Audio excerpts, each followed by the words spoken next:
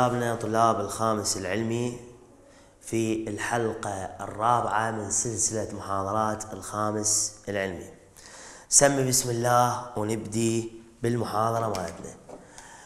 بالمحاضرة الثالثة نطيت الواجب انقلبت الدنيا على هذا الواجب. حول الإحداثي القطبي إلى الإحداث الكارتيزي. علما إن هاي العلما إن ما نطيتها لأن يعني الغاية في نفس يعقوب. علما إنه ولو تعدكم بالسؤال كان اللي قبله موجوده عندكم هاي الله. بس ما نطيتها عمود ما عمود ما تغشون. باع هنا هنا هاي الزاوية. زاوية هو ناطيني R و theta إحنا لازم شو نستخرج؟ X Y صح؟ كل سهله هاي R وثيتا إحنا لازم شو نستخرج؟ X و Y R و theta X يساوي R في cosine ال theta و Y يساوي R في sine ال theta ال R عندي خمسة بس ال theta cosine ال theta مو 323 لا عاد إيش قد؟ هسه راح نوضحها لكم. اكتبوا وياي ملاحظة. هنا شنو عندنا؟ إذا كانت إذا كانت الزاوية أكبر من تسعين. أكبر من تسعين. يعني مو بالربع الأول بين قوسين. يعني مو بالربع الأول. إذا بربع الأول ما عندي مشكلة وياها. بس إذا صارت بالثاني بالثالث بالرابع راح تصير عندنا مشاكل وياها. وهذا هذا الحكي ذكرته لكم بالمحاضرة السابقة. قلت لكم عندنا مشكلة يعني اذا صارت بغير ربع. المهم يعني هذا مو بربع الأول. شو نسوي؟ نتبع الاتي أول شغلة أول شغلة.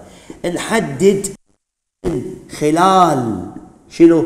الزاوية مكان الربع. أو نحدد من خلال الزاوية الربع. نحدد من خلال الزاوية شنو؟ الربع. تمام؟ ونستخرج نستخرج الزاوية الجديدة حسب الربع. يعني تتعرفون إذا إذا بين إذا الزاوية بين الصفر والتسعين بربع الأول بس إذا كانت بين التسعين والمية وثمانين بربع الثاني. إذا صارت بين المية وثمانين والميتين وسبعين بربع الثالث.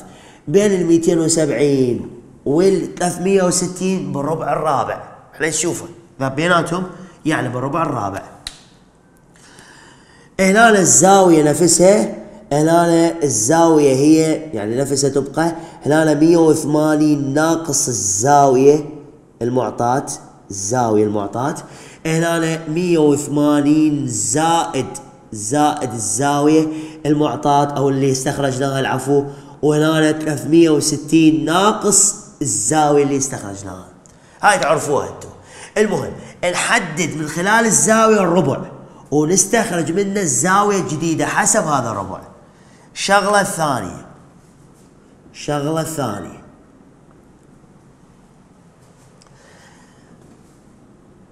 لازم ننتبه على إشارات قيم ال sine وال cosine ونخليها حسب الربع. يعني شلون؟ نخليها خلينا نقول نخليها بالتعويض. بالتعويض. هسه راح تفتهموها بالتفصيل. تتعرفون هنا كل كل يعني الكل موجب. سمينة يعني ال sine موجب. تاكل تاكل تاكل يعني ال tan موجب. كبة كبة يعني ال cosine موجب. يلا. إحنا لازم نراعي ذن الشغلتين. شوقت؟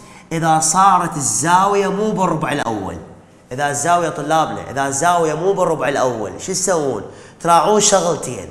الأولى لازم تعرفون وين الزاوية بيا ربع على مود تستخرجون الزاوية حسب الربع. هاي الأولى. الثانية لازم ننتبه على إشارات ال sine وال cosine. من نعوض القيم مالتهن لازم نعوض وياها الإشارة. شلون؟ ما افتهمنا تعالوا خلينا نفتهم بعض. خلينا نحل هسه هذا السؤال. هذا السؤال هو إيش قد الزاويه 323 يعني صايرة بين ال 270 وال 360 صايرة بيناتهم. إي صايرة بيناتهم. يعني يا ربع رابع. okay. اذا الزاوية بالربع الرابع. الزاوية يعني المتجه مالتنا خلينا نقول بالربع الرابع. زين. بالربع الرابع شلون نستخرج الزاوية؟ ربع رابع. ربع رابع يعني كبه كبه يعني cosine موجب وال sine يشبيه سالب. هذا اللي لازم يعني نثبته قدامنا. بالربع الرابع شلون نستخرج الزاوية؟ نستخرج زاوية جديدة. ويساوي لنا 360 ناقص الزاوية اللي هي 323 هسه 60 ناقص 23 37 37 درجة. تمام. إذا إحنا نشتغل على هاي الزاوية بعد تمام؟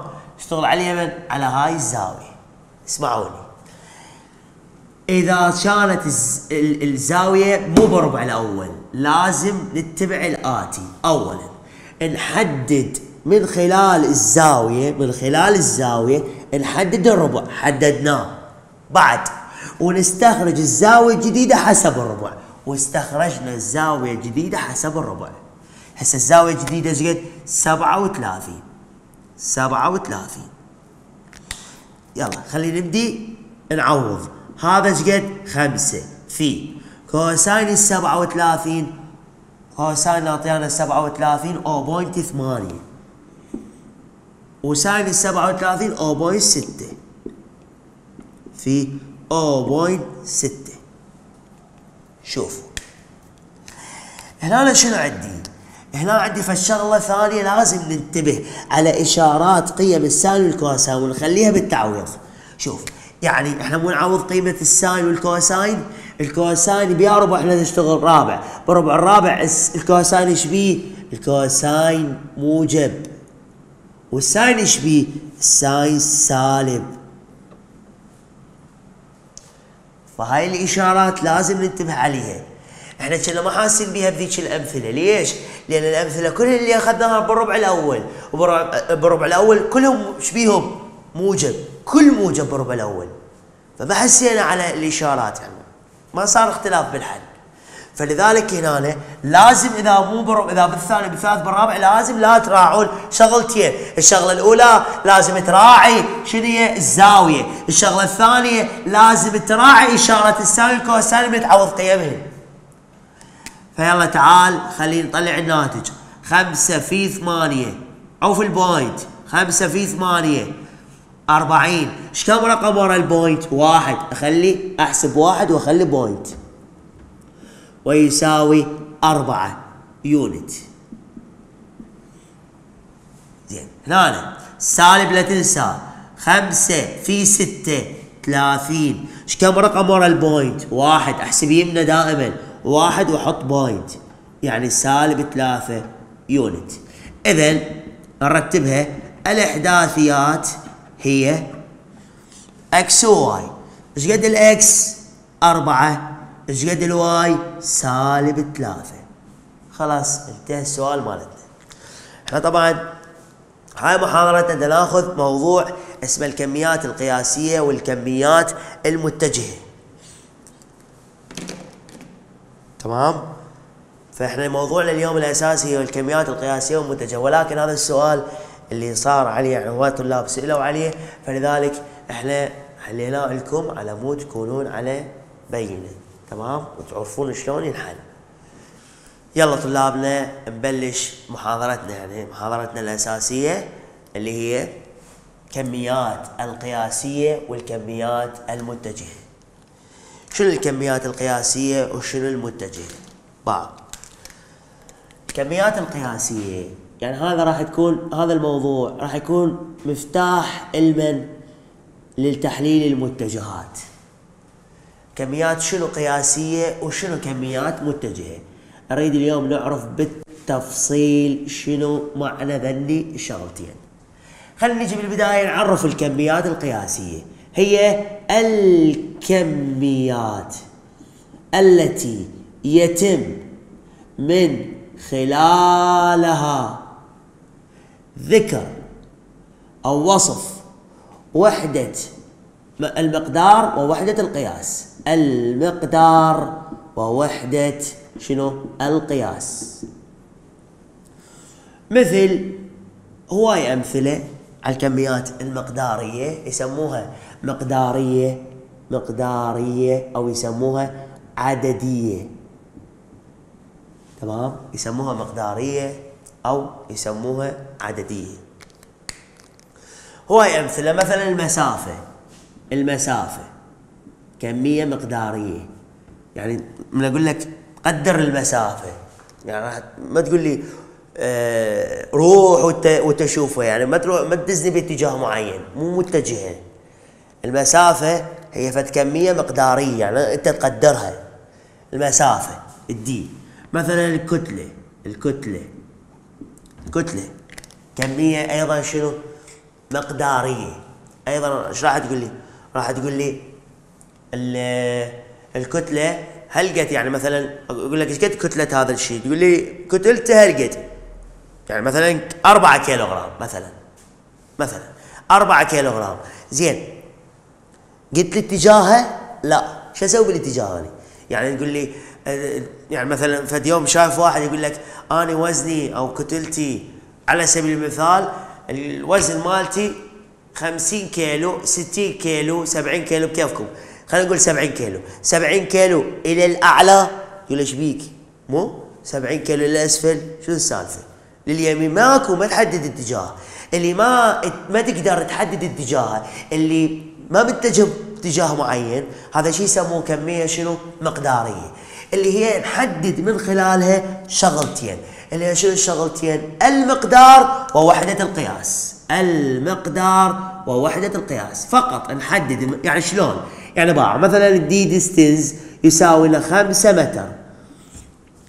هذا شنو هذا؟ هذا المقدار. هذا من هو؟ الخمسة؟ هو المقدار. مقدار إيش قد؟ خمسة. زين شنو وحدة القياس؟ متر مثلا أو سنتيمتر. وحدة القياس. الكتلة. الكتلة ماس يساوي مثلا 10 كيلو جرام الكتلة شنو هذا المقدار؟ وهذا شنو؟ الوحدة القياس. وحدة شنو؟ القياس. إذا نحدد فقط المقدار ووحدة القياس. بس هاي كميات يسموها مقدارية. يعني ما جاي تمشي. تمام؟ زين الكميات اللي تمشي من هي؟ الكميات المتجهة. هي الكميات هي الكميات التي يتم من خلالها. ذكر شو نذكر؟ بعض ثلاث شغلات. المقدار نفس ذاك بعد ووحدة القياس. وحدة شنو؟ القياس. وبعد والاتجاه. ها زيدنا هنا الاتجاه. حيث يوضع سهم فوق المتجه. شلون يعني؟ مثل إيش؟ مثل القوة. من أقول لك تعال سلط قوة. تقول لي وين أسلطها؟ يعني مثلا وين وين أسلط القوة؟ أسلطها مثلا لل مثلا للشرق لو أسلطها للغرب لو أسلطها للشمال لو أسلطها للجنوب. يعني إيش تحتاج؟ أعطيك الاتجاه ما تسليط القوة. فلذلك القوة شنو؟ تكون كمية متجهة. بعد مثل إيش؟ مثلا السرعة. أقول لك أنت اتحرك بسرعة. تقول لي وين أتحرك؟ وين بسرعة أتحرك؟ أقول لك مثلا روح للشارع. أو مثلا أصعد للسطح. أو مثلا يعني روح يمنى يسرى. أصعد انزل. تمام؟ يعني شنو معناها؟ لازم إيش تحتاج؟ أنت من أقول لك روح بسرعة. إيش تحتاج؟ اعطيك اعطيك وجهك. أقول لك وين تروح بسرعة؟ فأنت ما طولك راح تمشي تصعد تنزل تروح تجي ما تقول لك راح تمشي. اذا هاي كمية تحتاج اتجاه. تمام؟ أنت راح تسلط قوة. وقول وين أسلط قوة؟ مثلا تمام؟ قول وين أسلط قوة؟ أسلطها للشمال لو أسلطها علما للجنوب لو أسلطها للشرق لو أسلطها للغرب. وين أسلط القوة؟ فأنت هنا لازم تحتاج أعطيك الاتجاه. الكميات اللي اللي تحتاج اتجاه لازم شطيك اتجاهها. كميات مثلا أقول لك كتلة. ما يحتاج أقول لك لليمنى. شنو اليمنى؟ مثلا أقول لك مسافة. أقول لك هل قد المسافة؟ ما يحتاج أقول لك روح انت قيسه لا أنا اعطيك هل قد المسافة مقدار المسافة. فهنا أنا عندي الكميات المقدارية. ما تحتاج اعطيك اتجاه. الكميات المتجهه لا يحتاج اعطيك شنو وياها الاتجاه. لذلك شو راح نسوي؟ شلون شو نسوي؟ نحط سهم فوق الكمية. تمام؟ فوق الكمية أو المتجه مثلا 10 أو 15 نيوتن. مثلا هاي الارقام من عندي؟ هنا شنو عنده؟ هذا نذكر شنو؟ ثلاث شغلات. بعض نذكر شنو؟ المقدار. هذا شنو؟ المقدار. بعد ووحدة القياس. ووحدة القياس. وحدة القياس. أوكي. بعد. والاتجاه. والاتجاه. هذا الاتجاه. اذا نذكر المقدار. ووحدة القياس والاتجاه. نذكر شنو؟ المقدار. ووحدة القياس والاتجاه. مثلا السرعة V يساوي 13 مثلا متر على سكند. لازم نخلي فوقها سهم. ليش؟ لأن السرعة كمية متجهة. لو أقول لك اتحرك بسرعة تقول لي وين أتحرك؟ إذا كمية شنو؟ متجهة. من أقول لك مثلا عرف الكميات القياسية والكميات المتجهة. تعطيني ذني. الحكي هذا أو أقول لك قارن بين الكميات القياسية والكميات المتجهة. نفس الشيء. هم تعطي تعريف؟ بتعريف زين. خلي نجي هسه على سؤال. شو يقول هذا السؤال؟ ما معنى ما معنى إن المتجهات متساوية. شنو معنى بأنه المتجهات متساوية؟ أو ما معنى بأنه المتجهان متساويان؟ شنو معناها؟ شنو معنى متساوية يعني باعوا يعني أنا مثلا عندي متجه A. هذا متجه A. وهذا متجه B. ذول إيش بيهم؟ بنفس الطول يعني المقدار. وبنفس الاتجاه. يعني مو واحد رايح منا وواحد رايح منا إذا كانوا بنفس المقدار والاتجاه معناها يسموه متجهات متساوية. لازم شو يكونون؟ نفس المقدار وبنفس الاتجاه. أي يعني جواب أي يعني انه المتجهان يمتلكان أو المتجهات كيفك؟ إذا اثنين اثنين. جمع جمع. المتجهان يمتلكان نفس الاتجاه الاتجاه والمقدار. يعني نفس الاتجاه ونفس شنو؟ المقدار. يعني الاتجاه نفسه والمقدار نفسه. إذا نفس الاتجاه والمقدار معناه المتجهات يسموها متساوية تمام؟ زين شنو هذا سؤال ثاني. شنو معنى ما معنى سالب المتجه؟ شنو معنى سالب المتجه؟ شنو معنى؟ سالب المتجه. يعني باوع. أنت عندك متجه A. متجه شنو؟ A. هذا متجه A. أكو متجه بنفس المقدار بطوله بس عكسه عكس الاتجاه. هذا خلينا نسميه متجه B. أو نسميه سالب A. هو لا طول A هو طول A. هذا 10 هذا 10 بس هذا موجب هذا شنو؟ سالب. ليش حطيت له سالب؟ يعني لأن باتجاه متعاكس. اذا هذول هذا يسموه سالب المتجه. يمتلك نفس المقدار ولكن عكس الاتجاه. أي أن أي أن المتجهان يمتلكان نفس المقدار وعكس الاتجاه زين عندنا يعني فالسؤال يقول عبر عن الكميات بالكتاب موجود. عبر عن الكميات المتجهة رياضيا وبيانيا. هسه راح ناخذ هذا السؤال. يلا طلابنا نبلش بالسؤال. عبر عن الكميات المتجهة رياضيا وبيانيا. يعني لازم أعبر عن هاي الكميات. اللي راح ينطياني شو اعبر عنها؟ رياضيا وبيانيا. خلينا نجي وحدة وحدة هسه. رياضيا. رياضيا شلون أعبر عنها يعني؟ هي شنو اولا قوة مقدارها 3 نيوتن. زين شنو رمز القوة؟ أف. متجهة. قد مقدارها؟ 3 نيوتن. هذا هاي رياضيا. بس بس. زين جسم سرعته قد مقدارها؟ 5 متر على second. منو؟ إحنا نحكي رياضيا هسه. بس نكتب الرمز تصير رياضيا. شنو رمز السرعة؟ V velocity velocity هذا يسموه حرف nu ال nu تمام؟ المهم إحنا نصيح له V إحنا متواضعين ما نتكبر على العالم. الآن شنو عندنا؟ سرعة. إيش قد مقدارها؟ متر على متر خمسة متر على سكند. هذا هو رياضيا هذا هو. تمام؟ تمام. ما عندنا شيء لا ما عندنا شيء هسه نروح على اليمن على بيانيا. بيانيا. خلينا نجي بيانيا. بيانيا. بيانيا. يلا طلاب. شنو بيانيا؟ يعني لازم أرسم القوة على المحور الإحداثي. أنتوا تعرفون؟ ما ما تعرفون. هاي شنو؟ شمال. وهذا شنو؟ جنوب. وهذا شرق. وهذا غرب. زين. إيش دا يقول؟ دا يقول هاي القوة باتجاه الغرب.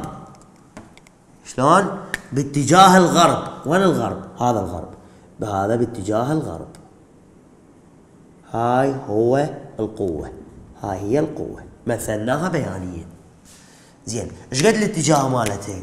لازم ويا الرسم البياني نعطيه الاتجاه إيش قد الاتجاه مالته؟ شنو الاتجاه؟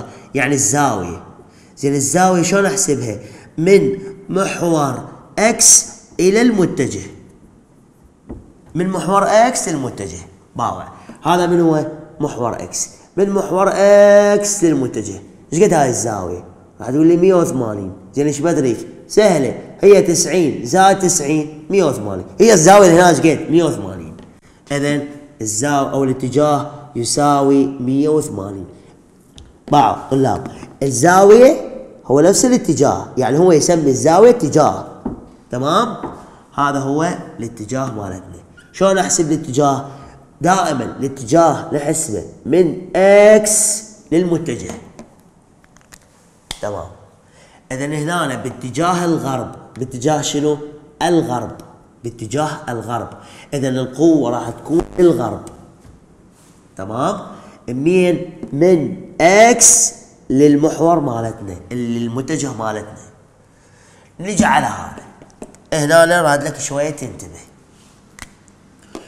شوف هذا المستوى الأحداثي اللي هو هذا الشمال وهذا جنوب وهذا شرق. وهذا غرب شريد من عندك. شوف هنا إيش يقول لك؟ يقول لك بزاوية يعني جسم سرعته هذا يميل بزاوية 37 37 غرب الشمال. هسه شنو؟ باوع اريدك إيش تكتبها إيش تكتبها باوع. غرب غرب الشمال. تمام كتبتها غرب الشمال. إيش راح أسوي بيها؟ شوف. يعني هسه المتجه صاير غرب الشمال يعني بيناتهم. لا هو شمال ولا هو غرب. غرب الشمال بيقول له غرب الشمال يعني بيناتهم. زين. إيش قد الزاوية؟ 37 زين. سبعة وثلاثين؟ إي. زين وين أخليها سبعة وثلاثين؟ أخليها هنا لو هنا. وين صايرة الزاوية؟ باوع. تخلي الزاوية ويا ال التعريف يعني شنو؟ وين ال التعريف صاير؟ الشمال. هو ناطياك غرب الشمال. وين ال التعريف صاير؟ ويا الشمال اذا الزاوية ويا تكون ويا ال التعريف ويا من تكون؟ مع آل التعريف. ليش قلت لك اكتبها؟ غرب الشمال. على مود تعرف اللي أبو الألف آه ألف لام راسا تخلي الزاوية يمه اللي هي 37 درجة. زين تقول لي أنا رسمت بس بعد بعد شنو عندي؟ الاتجاه. الاتجاه. يعني شنو الاتجاه؟ يعني الزاوية. إحنا إيش قلنا على الزاوية؟ قلنا الزاوية هاي من اللي وين من محور x إلى إلى منو؟ إلى المتجه.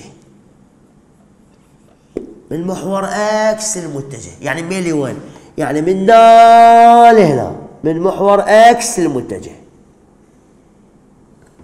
زين إيش قد هاي الزاوية؟ راح تقول لي شوف شوف بس بس ركز يمي كل الزين. راح تقول لي أنا أعرف هاي إيش قد بس. هاي. أقول لك هاي إيش قد؟ يقول لي هاي ناطياني 37 هاي أعرفها إيش قد؟ 37 37 زين بربك تعرف هاي 37 هاي ما تعرفها إيش قد؟ إيش قد هاي؟ ربع أول هذا زاويه قائمة. هاي إيش قد الزاويه 90 إذن إيش قد هاي؟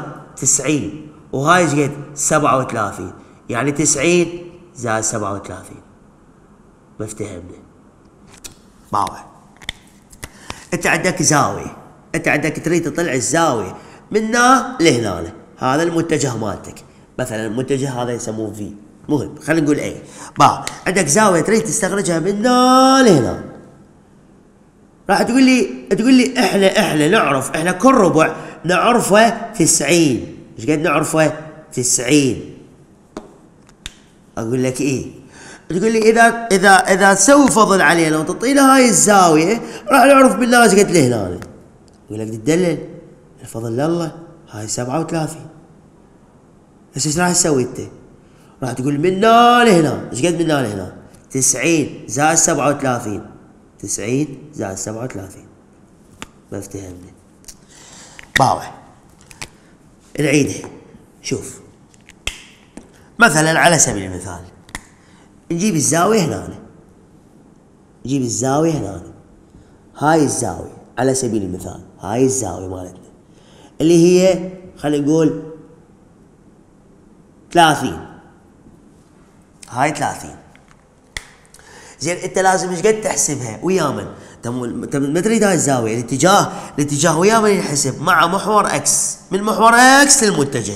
يعني ميلي وين؟ يعني من هنا لهنا. أوكي. هاي إيش قد؟ 90 وهاي إيش قد؟ 90 وهاي إيش قد؟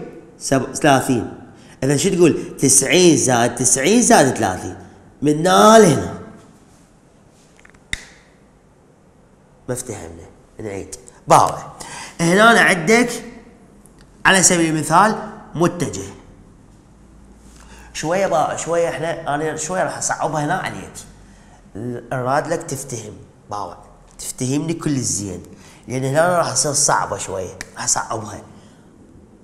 باوع أنا اعطيك أنا هاي الزاويه إيش قد هاي الزاويه خلينا نقول 30 مثلا. انت شو تقول لي؟ تقول لي أنا شو أسوي بهاي الزاويه؟ أقول لك انت شو تريد؟ تقول لي أنا اريد الزاويه من محور x للمتجه. اريد هاي الزاويه هاي كلها أقول لك يلا تعال خلينا نحسب هاي إيش قد 90 وهاي إيش قد 90 وهاي إيش قد 90 وهاي تقول له هاي هم 90 ألا إيش قد؟ ألا 30 يعني إيش قد؟ 60 فتقول 90 زائد 90 زائد 90 زائد 60 أو طريقة ثانية. كلها إيش قد 360 نوخر منها هاي التلا... نوخر يعني نطرح. 360 ناقص هاي ال 30 تطلع الزاوية من هنا لهنا.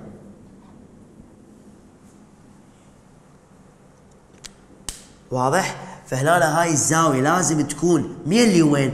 من x الاتجاه شلون نطلع الاتجاه؟ من x للمتجه من يطلع الاتجاه؟ من محور إكس للمتجه من محور إكس للمتجه من محور إكس للمتجه تمام؟